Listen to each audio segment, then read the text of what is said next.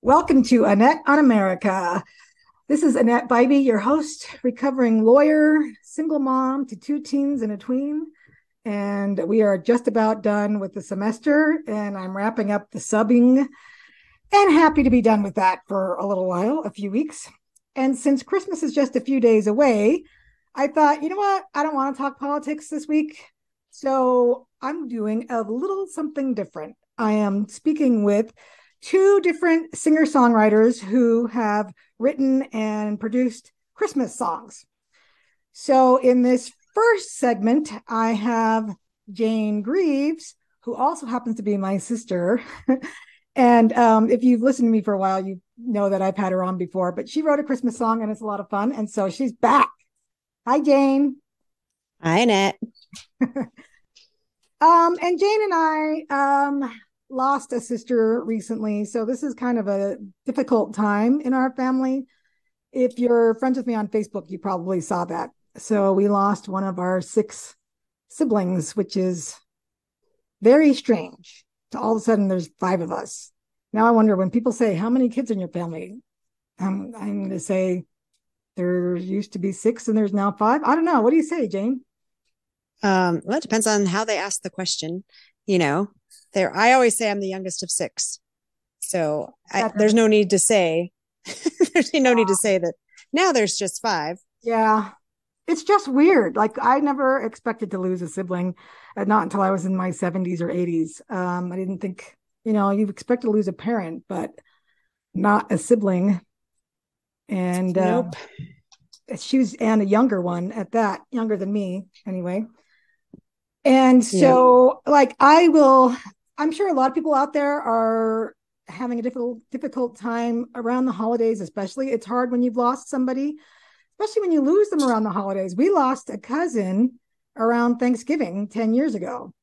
And so now every Thanksgiving I think about Natalie and every Christmas I'm going to think about Sherry. And it's just it's strange. Um, grief is a weird thing too, I've discovered. Like I'll go for several hours, like, oh yeah, everything's normal, no biggie. And then all of a sudden my brain will say, remember, Sherry just passed away. And I'm like, oh gosh. Oh. Yeah. Yeah. Yeah. And it's interesting how different people grieve in different ways. Uh, when Natalie died, I just wanted to talk about her.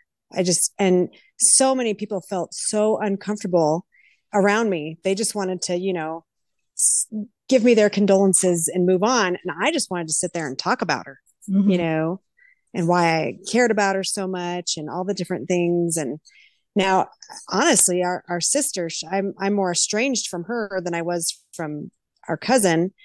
Um, so it's kind of different. It's a little different being estranged from someone and then they pass away.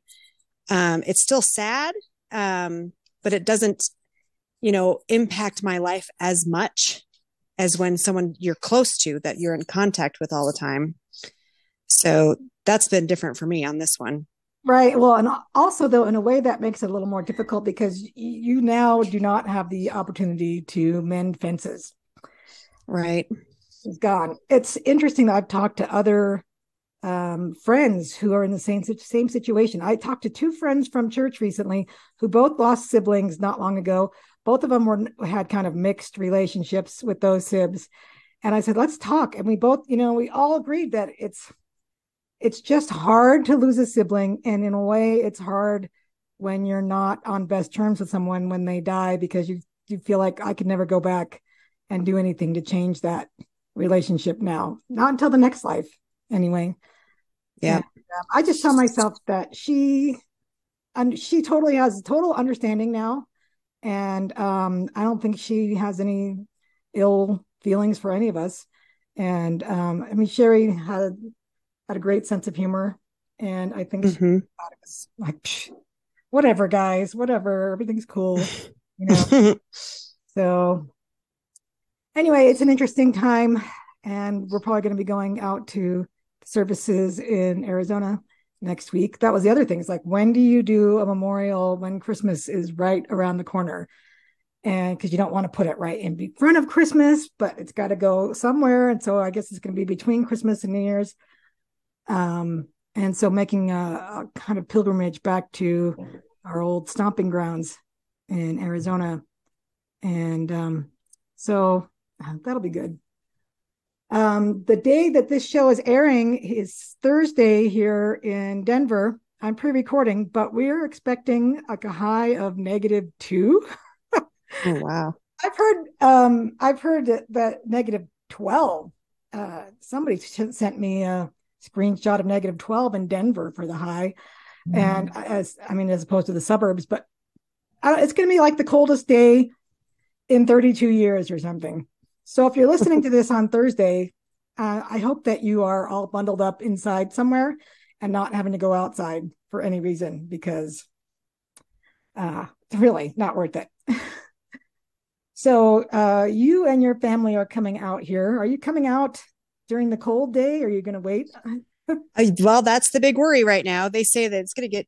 We're in Wyoming, um, and the, they say it's going to be negative thirty here. Holy cow! Wow. Yeah, and so they're we're already being advised not to travel until Friday, so that'll um, yeah, just throw us off a day. It'll be fine.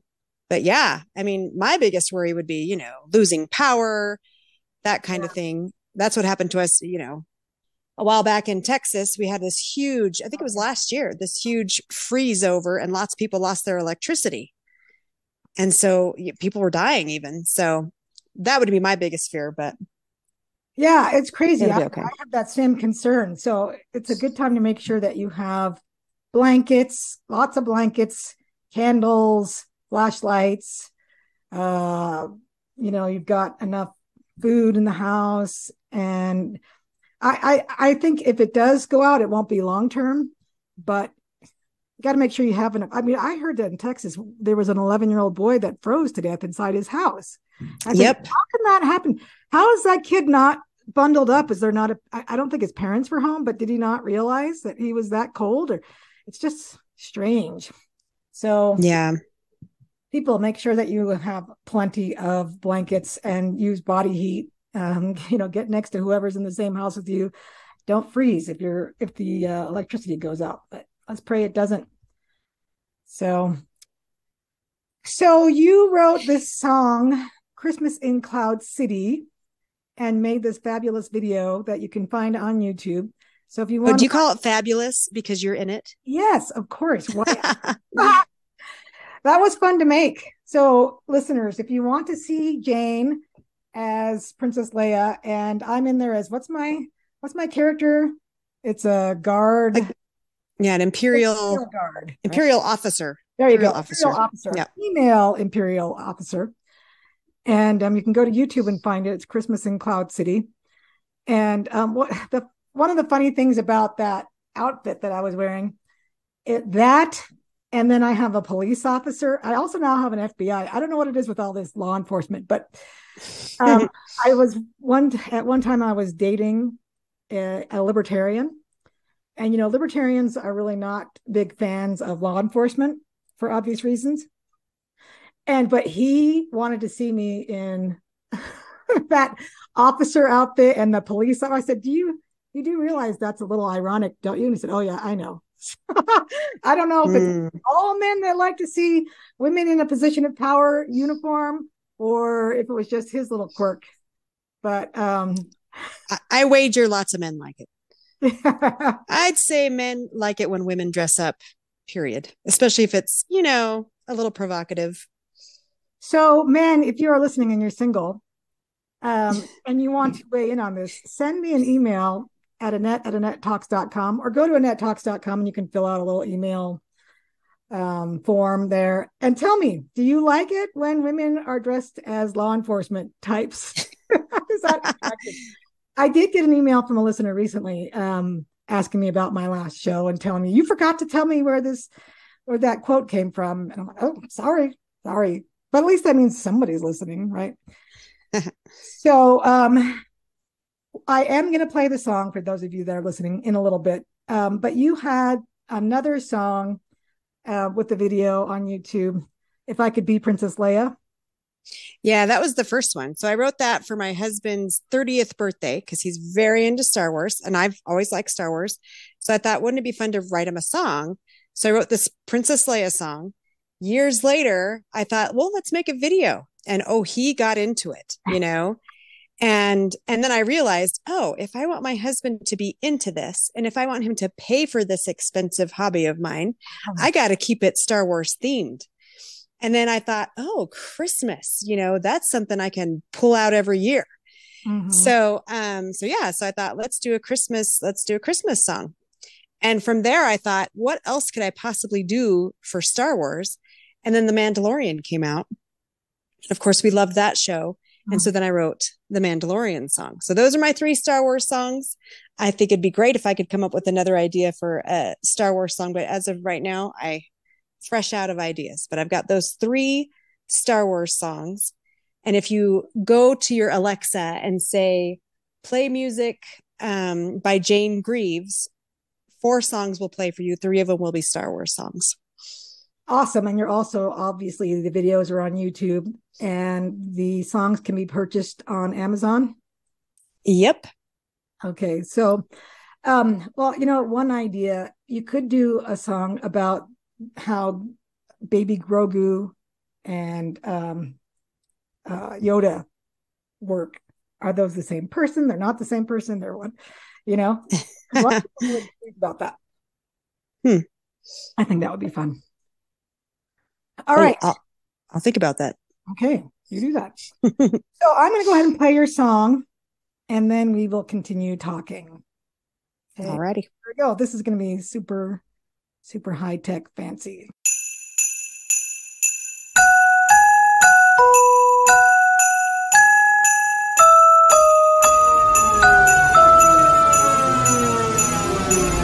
I want Christmas in Cloud City. New Year's in Naboo. After Halloween on Tatooine, I wanna share my Christmas with all of you. So Merry Christmas with each and every one of you. On play Santa, will Chewie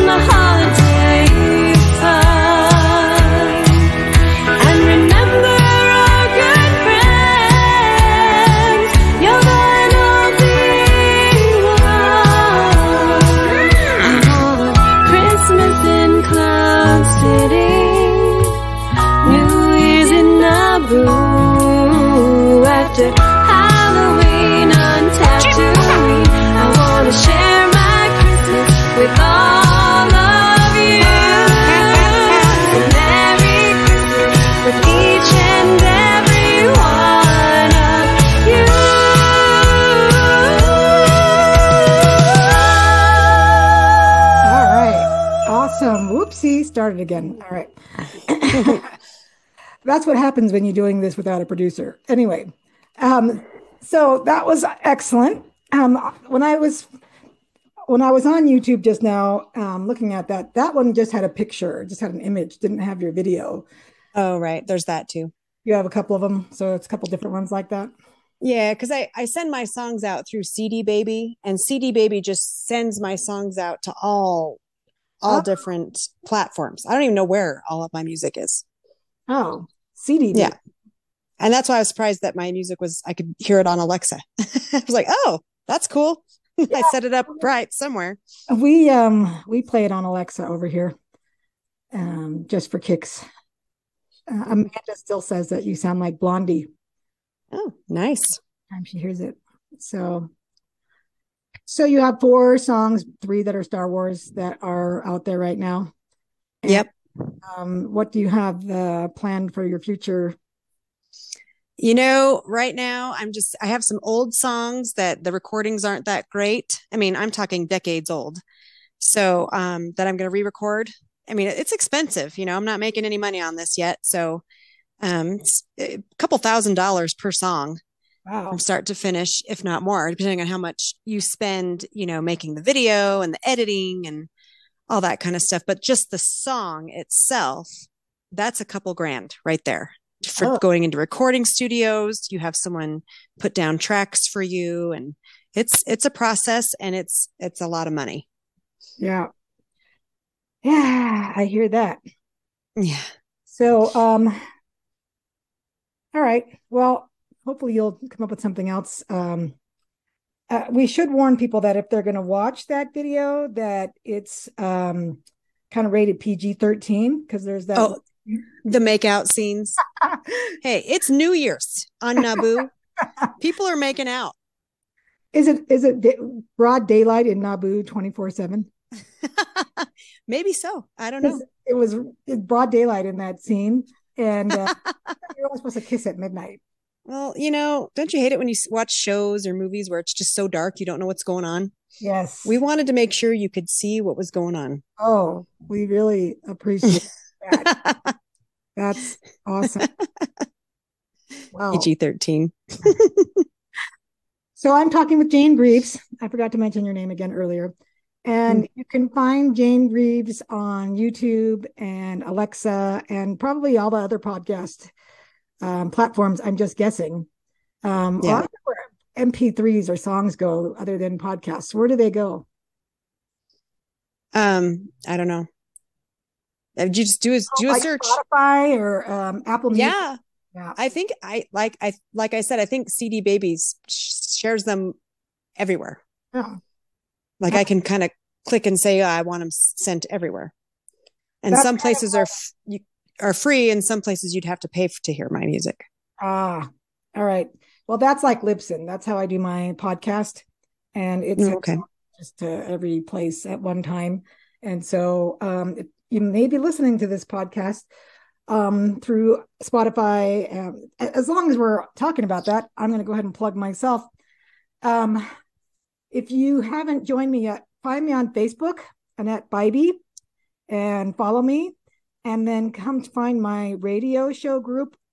I usually do a poll every day. Um, I haven't done one for a few days this week. I'm kind of just letting Christmas be Christmas. Um, but I usually do a political poll every day.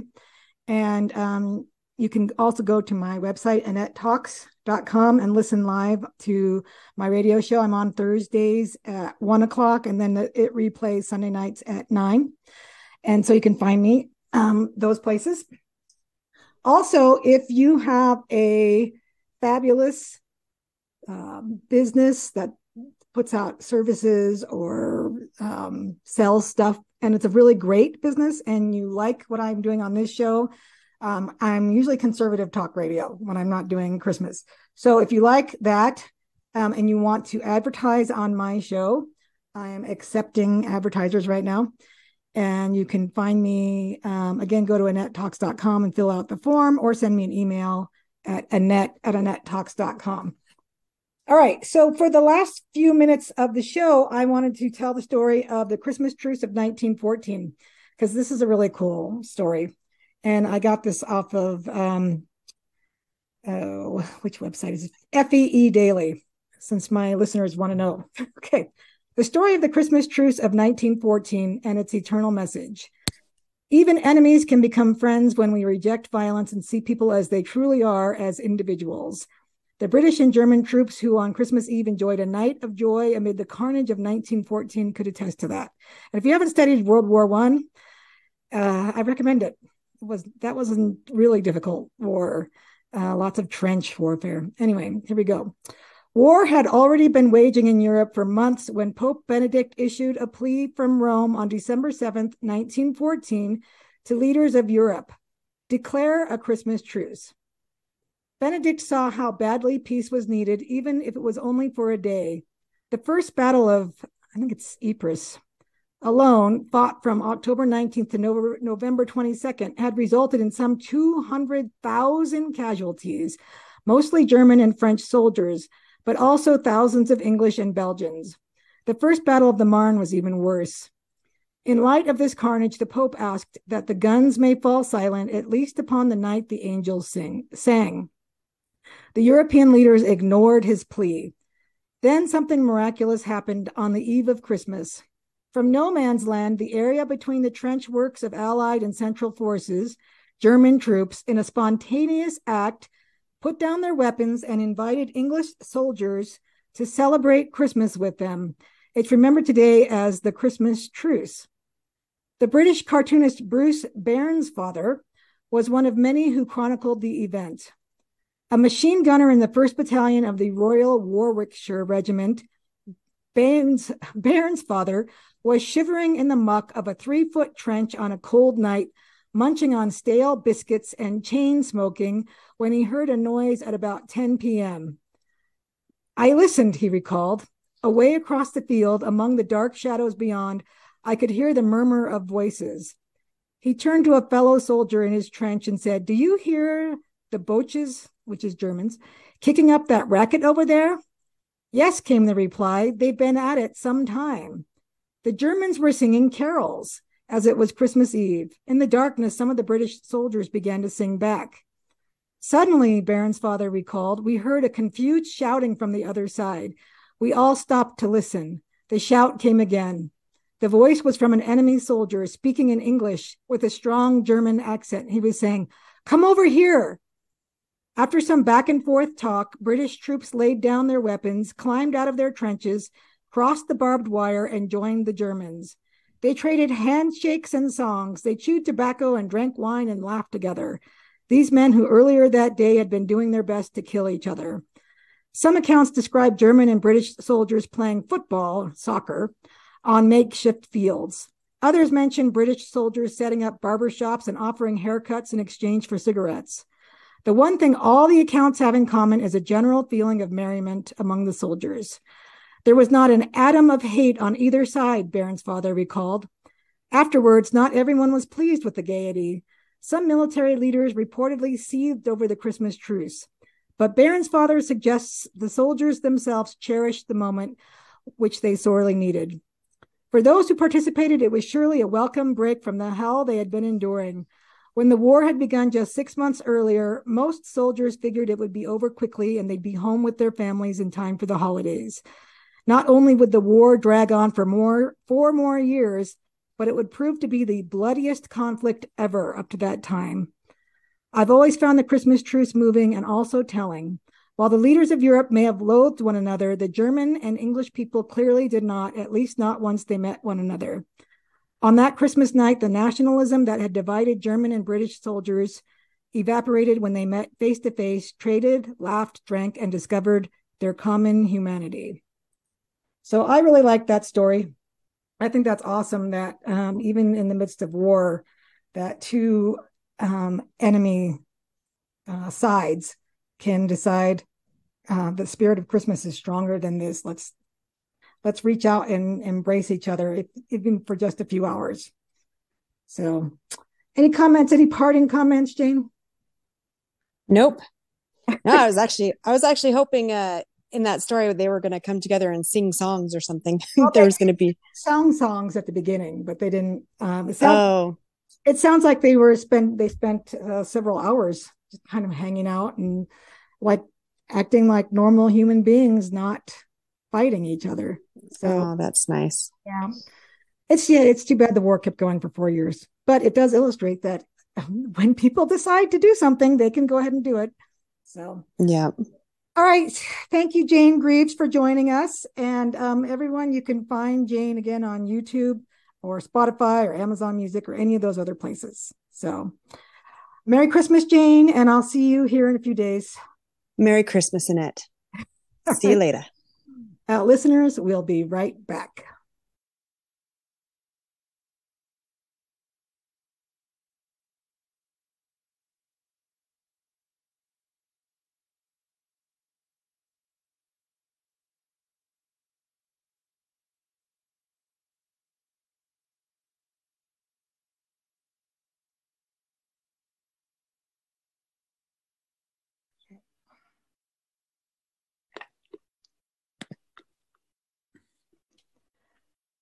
All right. Welcome back to Annette on America. This is Annette Bybee. And um, if you missed the first half, go back to AnnetteTalks.com and find it. Um, I was chatting with um, a singer songwriter about her Christmas song. And I'm continuing with that theme because here we are just a few days away from Christmas. And I thought it would be fun to take a break from politics for just a week and um, talk about some Christmas music and Christmas in general. So, next up, I have country artist Clayton Smalley, who is the epitome of Merle Haggard's working man blues. Other than the nine kids Merle references, the songs the song could be the Spanish Fork, Utah-based singer-songwriter's autobiography. A welder by trade, Clayton, a blue-collar family man, is a throwback to when artists balanced the responsibilities of working, helping provide for a family, and pursuing a passion for music. Born and raised in Southern California, Clayton grew up listening to artists like George Strait, Keith Whitley, and Reba McEntire, which galvanized his love of traditional country music and helped define his own style. Outside of music, you can find Clayton fishing the lakes of Utah for rainbow and cutthroat trout or hunting in the Nebo Mountains. Clayton recently performed at the Rocky Mountain Country Music Awards where he was nominated for New Artist of the Year. Hello, Clayton. How you doing? I'm good. How are you?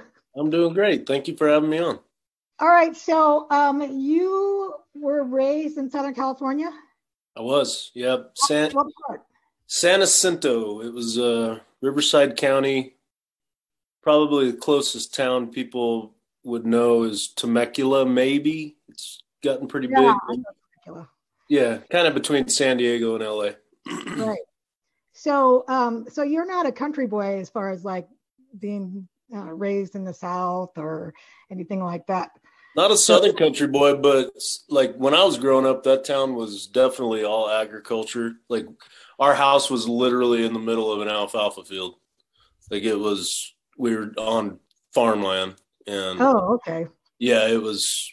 No, it was. It was definitely way more rural than it is now. Oh, yeah. Uh, I went to law school out um, not far from there, Inland Empire, yep. and I did a um, internship in Riverside. And Okay. um, yeah, it looks co- totally different. I grew up in Southern California as well. It's been a long time.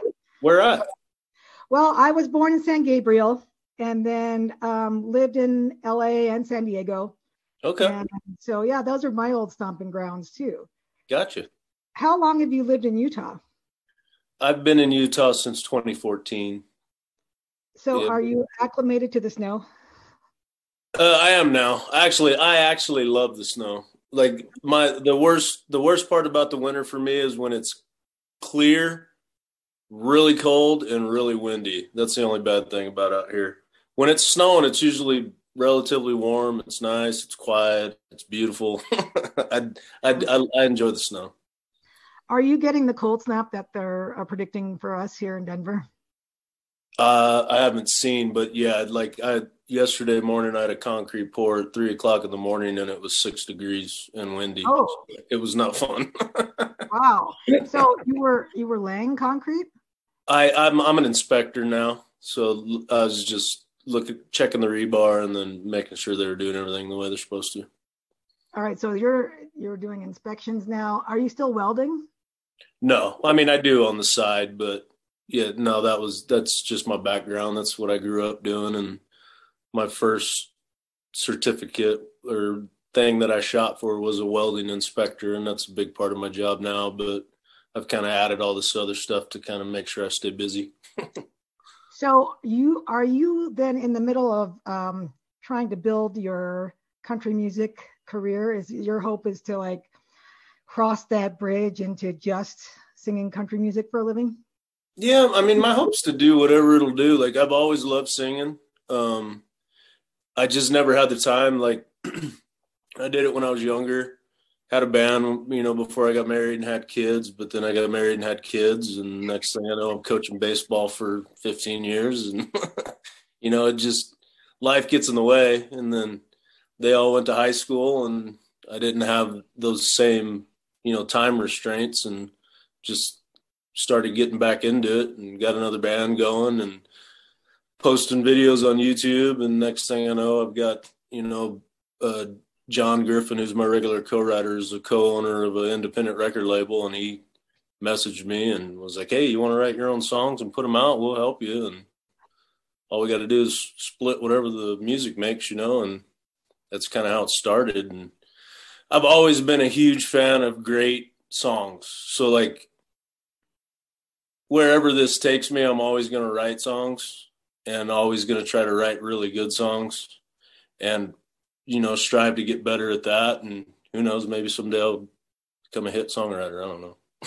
so, how did John Griffin find you? Uh, I actually followed him on Instagram. I think when I when I so the way it kind of rolled out was I wanted to get a band going again. I wanted to start kind of developing a following because I was in a totally different place and so I my first thing I did was start a YouTube channel. So I'd start doing covers, and um, kind of the the back the main foundation for that was that I wanted to get my guitar chops back because I hadn't played guitar in a while. Like I was raising kids and doing all that, so um, I just wanted to start getting back into playing and singing and kind of building up a set list for like if I could get a band together, you know but I knew I'm kind of I'll bounce around a little bit. So I knew if I if I was going to set up a channel, I'd have to learn a song like start to finish. Otherwise, I'd start a song and then I'd hear a song on the radio and go, "Oh, I need to learn that one," and I'd go start working on that one and never finish one. You know, so that was kind of my own like structure to make sure I'd sit down and, and learn them. And so then I started Instagram and Facebook and just kind of started following people that were you know, into music. And he just came up as a suggestion and I followed him and he messaged me back. He's like, Hey, how'd you find me? I was like, You were a suggestion. And he started checking out my stuff and just kind of went from there. Huh. That it's a funny time that we live in now, isn't it? Where oh, yeah. we put ourselves out there yep. um, on YouTube and Instagram and Spotify and every every place else. That wasn't something that we had as an option growing up. Nope. Like that's totally different. And um, it's it's good and bad, right? I mean, it's good in that you have an instant platform. It's bad in that you have an instant platform. So like, yeah, exactly. like, like I had a, I started with a podcast before the radio show, and um, at first that was impressive, but now everyone that hears it, oh, I've got a podcast too, right? Or, or I get someone reaching out to me, how do I start a podcast? Um, it's really easy. Like probably you have a brother or a cousin that's doing it, right? Because everybody's doing it. So you have to find a way to stand out. Yeah. Right. So obviously you must have done something that made you stand out um, for John Griffin to notice you. I guess so. Yeah. I mean, I've always I've I've, I've always loved singing, and um, that's probably my my best attribute. I'm definitely not a good guitar player. so um, we're going to be playing your Christmas song, "Bringing Christmas to Life." Um, and now, did you did you write this song, or did you co-write it with someone? I, I co-wrote it with John. Griffin, who I've co-wrote, co-written most of my stuff with, as well as for the last year and a half or so, uh, we've been writing with my producer, who out in Nashville that like puts out all my music, and uh, we've been having a good time and writing some pretty good stuff. David Flint um, used to play for Highway Twenty, uh, Highway Twenty One. Okay. So I have to admit that I'm pretty um, ignorant when it comes to country music. Oh, that's all I, good. like, I grew up with it too. I grew up in a small, smallish farm town in Arizona, Yuma. You probably Okay. heard. And um, so a lot of my friends listen to it. So, I mean, obviously, I know who George Strait and Reba McEntire are. I don't know who Keith Whitley is. don't don't hate on me, people, if you're listening. Um, I have a lot of listeners that I'm sure are country music fans because um, it tends to go together with conservative values. So, um, You should definitely go check out Keith Whitley. all right. And I, I just had a, I just realized he played for Highway 101. Uh, okay. Cool band from back in the, I think, I want to say like 70s, 80s. Oh, all right. but, That's my uh, time period, but not my genre. like I, I can name all the 80s music, um, uh, but not most of the country music, Okay. except for uh, a few, you know. Actually, Friends in Low Places. I don't know when when that one came out, but um, I think that was early 90s. okay. So I know that one. And what's it? Is it Neon Moon? Is that also George Strait? I mean, No, that's um, Brooks and Brooks and Dunn. Okay, Brooks and Dunn, right. Garth Brooks, right. Okay, so that song um, takes me back. And I know that. All right, anyway. That's I'm a just- good one. yeah, it is a good one. And I hear that one still, and it takes me back to like old dances, church dances and stuff. Oh yeah. Anyway, um, I want you to tell us what was the inspiration behind this bringing Christmas to life, and um, is it? Do you relate to the story in it and the lyrics? Oh, I definitely relate to it. so we sat down. We knew we were going to write a Christmas song that day, and I just I, I love all the traditional Christmas music, but uh, we just started talking like, "What's your like? What's?" So we'll just start talking to each other like, "What's your routine?" And I just kind of started talking about, well, usually it's literally the day after Thanksgiving. I'm still in a turkey coma. My wife's telling me you got to go get all the bins down with all the decorations. Like I'm, I'm not ready to start doing it yet. but Mhm. it's it's literally the next morning. She's ready to start decorating. She's ready to start clearing out a place for the tree. We literally go get the Christmas tree on Friday after Thanksgiving Mhm. and it's just up front a lot of work for me and i'm not really in the christmas spirit yet. So that's kind of how it just kind of rolled out was because the day after thanksgiving i'm definitely not in the christmas mood yet. But as i start putting in you know help her get everything out and she starts going around and decorating and making everything pretty i slowly start you know she starts baking she starts playing music she wants to watch all the christmas movies and like slowly but surely I'm getting into the Christmas mood, you know.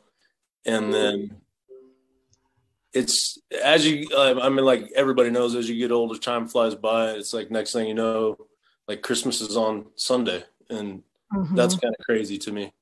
Yeah, then, I know. you know- It felt like it, it. It feels like the Christmas season is now goes for like two months, you know. Yeah. But then when you get into the week of, here we are. Yeah, it's already coming in five days, and it feels really, really quick. yeah. So um, I also find that Christmas music um, is very healing. Um, I before you and I talked, my sister was on, and we both lost a sister last week, and Oh, wow, uh, and yeah, and I thought, gosh, this is really hard. And then um, I went to church on Sunday, and we were singing, you know, Christmas songs, Christmas carols, and it really helped a lot. And so I can see why people um, have a hard time at Christmas because you, we lose people and it's a difficult time because it seems like everybody else is happy when you're not. But Christmas songs to me are just very powerful and um, hopeful and healing. So Yeah. um, it's it's one of the positives about I guess it, when something horrible happens around Christmas, if you can focus on the music. All right, Yeah. well, I'm going to go ahead and play your song. So I am sitting here with Clayton Smalley, and we're going to play his Christmas song, Bringing Christmas to Life.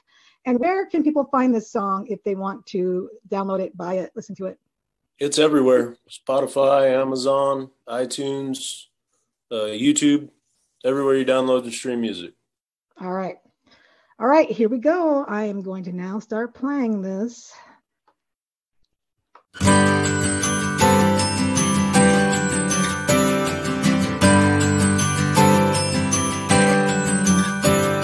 I'm up in the attic, dusting off familiar old bins. Thanksgiving's over, here we go again. I'll be unpacking these decorations all night, doing my part bringing Christmas to life. My wife and the kids have cleared out a place for the tree. They're ready to go pick one out, just waiting on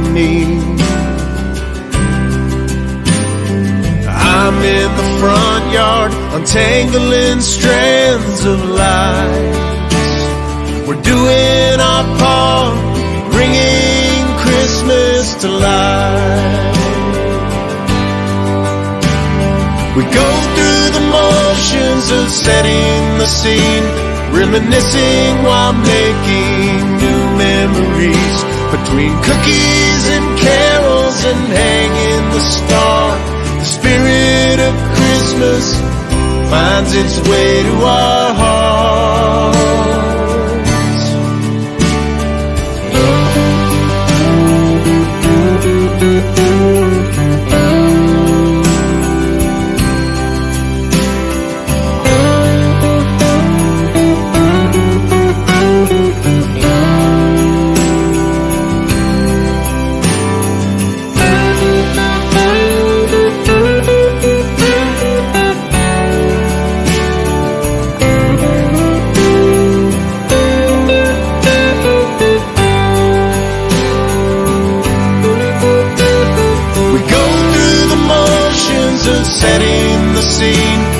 Reminiscing while making new memories between cookies and carols and hanging the star.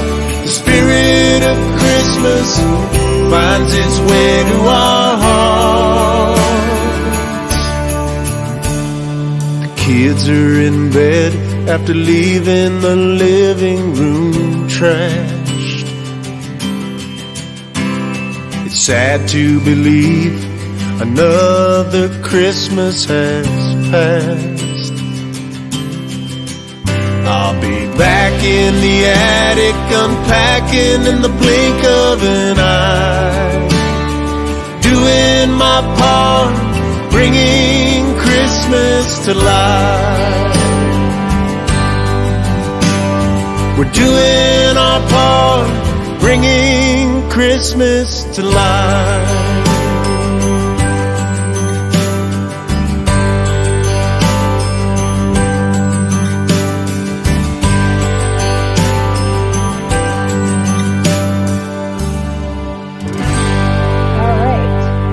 Like a DJ, a music DJ right now. That Bringing Christmas to Life by Clayton Smalley. well, that's a that's a very fine song. Um, it, it, it's I almost feel like it should be called like warming up to Christmas. Like Yeah. I guess it's like all right. I guess if I have to do this, I can get it. I can do this, get it done. Well, that's really nice. I like it. Thanks. So, um,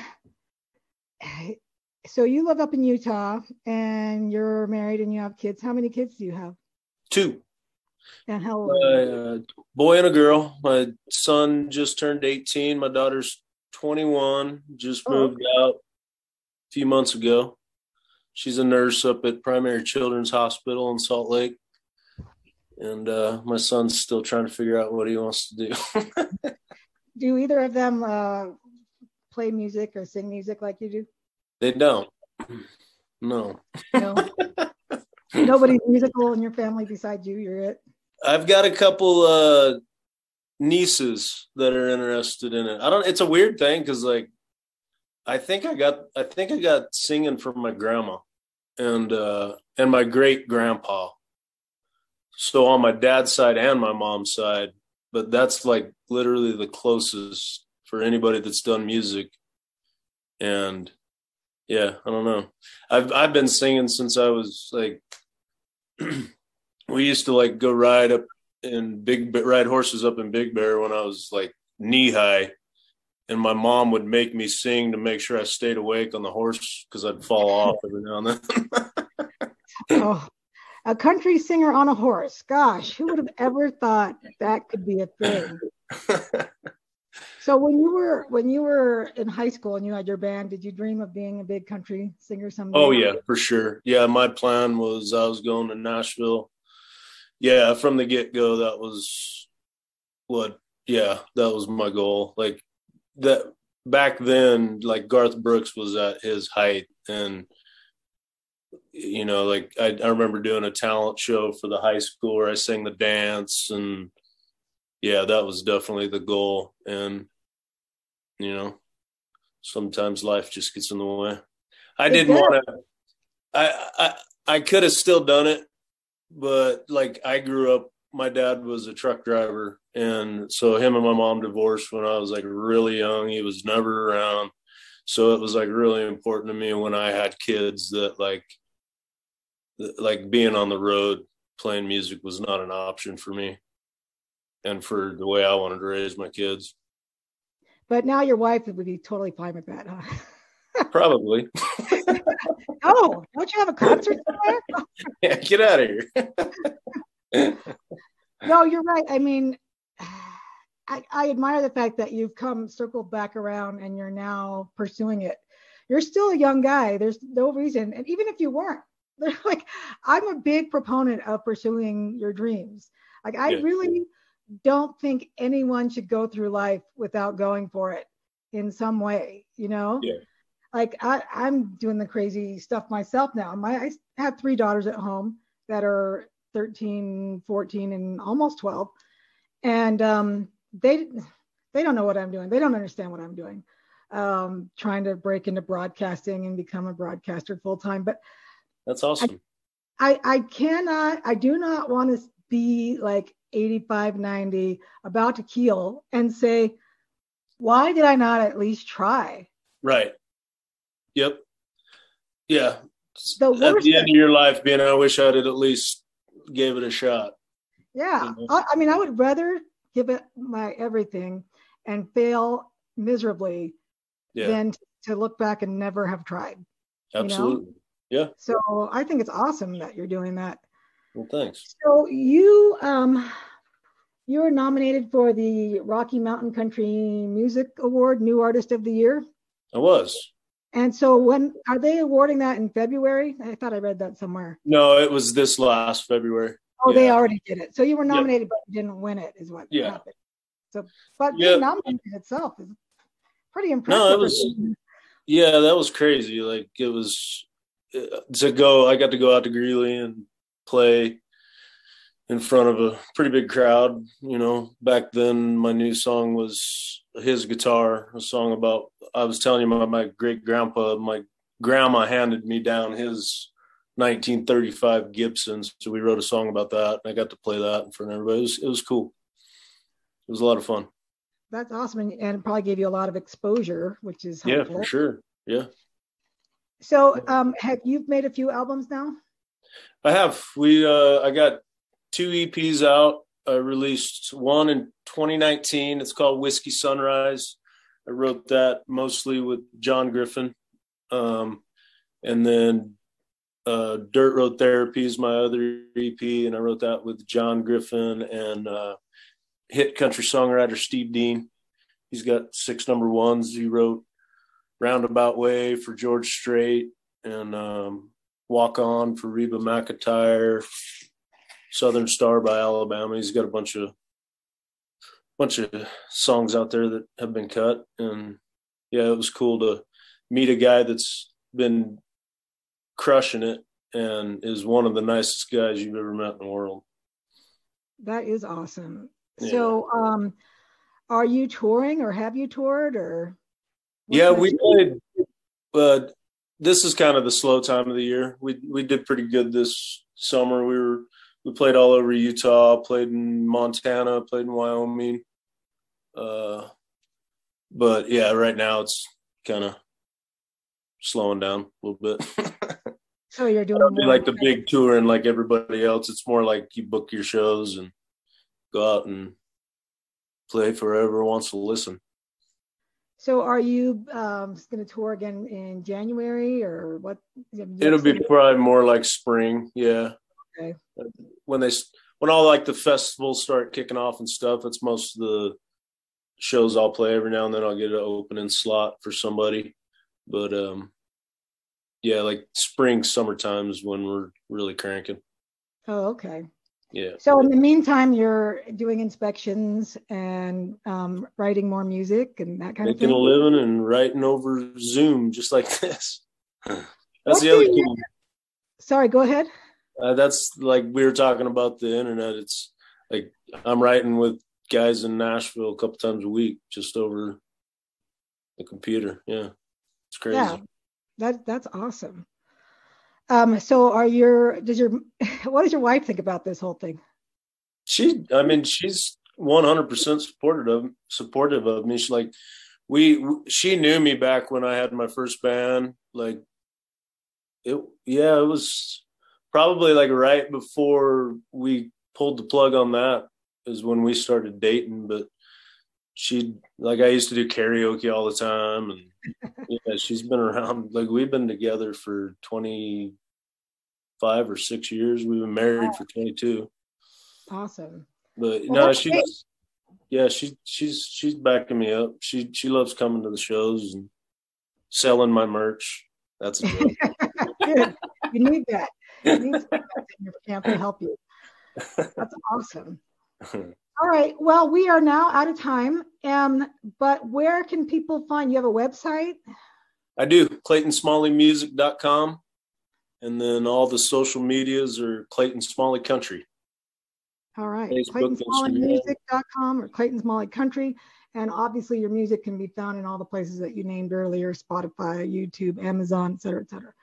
All right, everyone, go and find Bringing Christmas to Life by Clayton Smalley and play it for your house and, and share it with your friends and family and um, enjoy some good, good old Christmas country music. It's awesome. All right, thank you, Clayton, for showing up on the show here. And um, I wish you a Merry Christmas. Thank you so much for having me on, and Merry Christmas to you too. You're welcome. All right, listeners, thank you for listening to Annette on America, where freedom lovers gather.